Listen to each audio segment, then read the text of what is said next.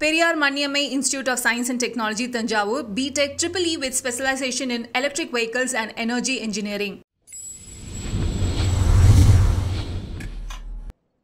Bus வந்து நான் ஸ்கூலுக்கெலாம் பஸ்ஸில் தான் போவேன் it's actually very traumatising experience for all women நினைக்கிறேன் நான் சின்ன வயசில் இருக்கும்போதே it has been quite bad I think நம்ம ஊரில் பீப்புள் நீட் டு சேஞ்ச் இந்த பஸ் ட்ராவல்லாம் இருக்கும்போது இந்த மொலஸ்டேஷன் அண்ட் மிஸ்பிஹேவியர் எல்லாமே நடக்குது. I'm sure it's still happening here so bus was very traumatising experience for me அதுக்கப்புறமே சைக்கிளில் தான் ஸ்கூலுக்கு போக ஆரம்பித்தேன் ஓ, படிப்படியா So, இது- வந்து இப்போ எல்லாருமே Yeah, yeah. ஸ்பீக்கப் பண்றதால படிப்படியா அது வந்து சேஞ்ச் ஆகும் அப்படின்ற ஒரு நம்பிக்கை Yeah, so I think uh, bus experience not been great experience. I think all women uh, face that same problem.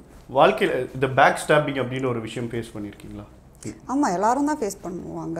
ஆமா பட் ஆனா அதுல இருந்து ஓவர் கம் பண்ணி வர்றது அவ்வளவு ஈஸி இல்லை இல்லையா? இது டிஃபர்ஸ் ஒரு ஒரு பர்சனாலிட்டிக்கும் பட் நீங்க அதை எந்த அளவு வந்து அதுலேருந்து கற்றுக்கிட்டு just don't show you back to any one அதுதான் நம்ம கற்றுக்கணும் ஸோ யாராவது ஒருத்தவங்க அது மாதிரி லெட் டவுன் பண்ணாங்கன்னா அது ஒரு பாடமாக கற்றுக்கிட்டு அடுத்த வாட்டி வந்து இன்னும் கொஞ்சம் நம்ம கான்ஷியஸாக உஷாராக பழகணும். அது அது எல்லாருக்கும் தேவை தான் அந்த மாதிரி லெசன்ஸ்க்கும் லெசன்ஸ்லேருந்து கற்றுக்கிட்டு வர்றது தான் அங்கே ஒரு ஆத்திரப்பட்டோ இல்லாட்டினா ரியாக்ட் பண்ணுறதுனால ஒன்றும் நடக்க போகிறதில்ல நிச்சயமா. ஸோ நெக்ஸ்ட் வந்து your best and worst subject in school அப்படின்னா என்ன? ஹிந்தி.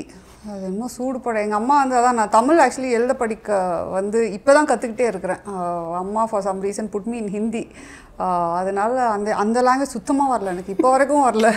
அது என்னன்னு தெரில அது அப்படியே just bounces off my head so அது அது.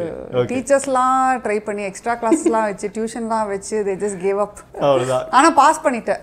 என்ன பண்ணிட்டேன்? ஒரு டெக்னிக் கண்டுபிடிச்சிட்டேன். ஹிந்தி தெரிலனாலும் ஹேண்ட் ரைட்டிங் நீட்டாக இருந்தால் நம்மளுக்கு நிறைய மார்க்ஸ் வரும். அதை நல்லா ப்ராக்டிஸ் பண்ணிட்டு போய் எழுதிட்டு I almost I got seventy eight percent in Hindi seventy three almost அந்த ஹிந்தி டீச்சருக்கு ஒன்றுமே புரியல.